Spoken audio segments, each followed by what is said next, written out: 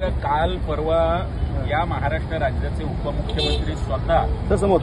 मीडियाला सांगतात आणि लोकांना सांगतायत की आम्ही महाराष्ट्रातल्या कुठल्याही टोलनाक्यावर पथकर म्हणजे चार चाकी वाहनांना टोल वसूल करत नाहीये.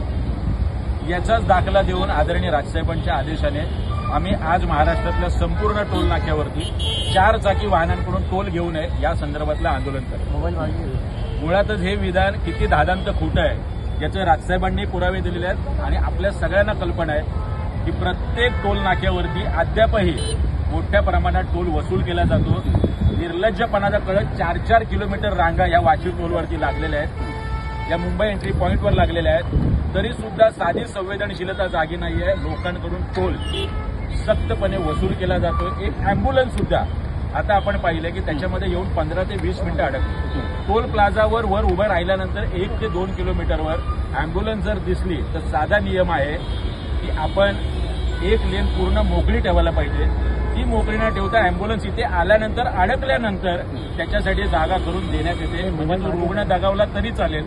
मात्र आमची पैशाची वसुली चालू आहे. नाही पण आता पुढच्या भूमिका तुम्ही काय घेणार आहात? या ठिकाणी लहान वाहनांना जाऊ दिलं जात आहे का? आणि आम्ही? जोपर्यंत इथे आहोत तोपर्यंत आम्ही या वाहनांना जाऊ देण्याचाच प्रयत्न करतोय. आदरणीय राजसाहेब येत्या काही दिवसात मुख्यमंत्र्यांची भेट घेणार आहेत. त्याच्यानंतरही याच्यावरती जर कुठलाही तोडगा निघाला नाही तर आदरणीय राजसाहेब ठाकरेंनी सांगितलं त्या पद्धतीने खळखटाकचं आंदोलन निश्चितपणे. अजूनपर्यंत टोल वसुली मात्र अजूनही सुरू आहे. तो मला एक सांगणं उपमुख्यमंत्र्यांच्या सुद्धा विधानाला याचा अर्थ टोल प्लाझाचे मालक भीक घालत नाहीये.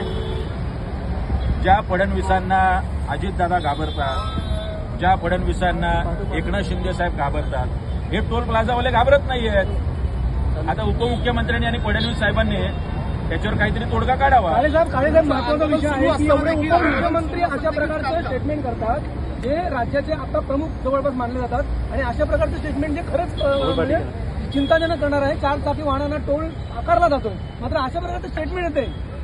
भारतीय जनता पक्ष आणि उपमुख्यमंत्री फडणवीस साहेब असंच खोटं बोलून या महाराष्ट्राच्या सत्तेत आलेले आहेत हे आपल्याला माहिती आहे. टोल प्लाझाबद्दल सुद्धा ते काय खोटं बोलले हे उभ्या महाराष्ट्राने पाहिलंय.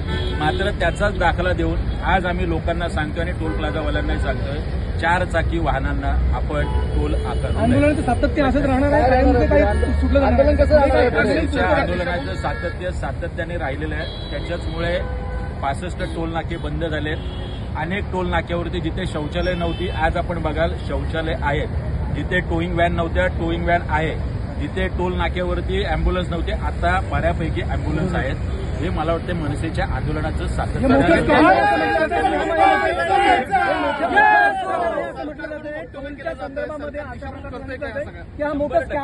हा इथे ज्या पद्धतीने कॅश फ्लो होतोय कॅशचा व्यवहार होतोय अनेकदा सांगून सुद्धा डिजिटल पद्धतीने होत नाहीये.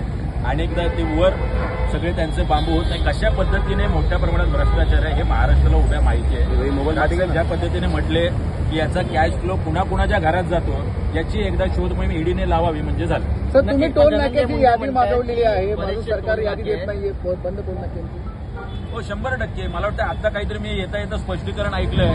त्रेपन्न का पंचावन्न टोल नाके बंद झाल्याचं स्वतः फडणवीसांनी सांगितलेलं आहे. यादी यादी.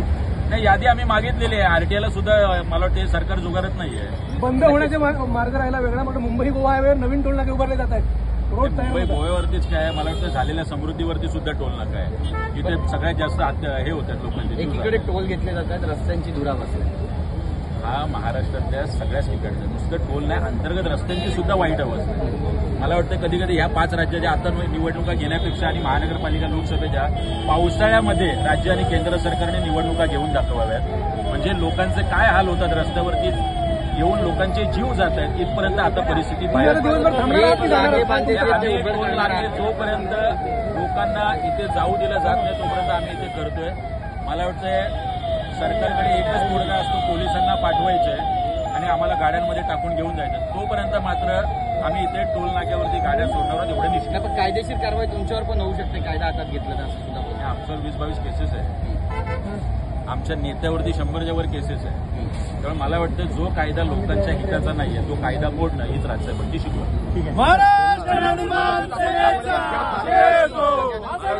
टोल प्लाझाला थांबा. टोल प्लाझाला थांबा आणि सोडा.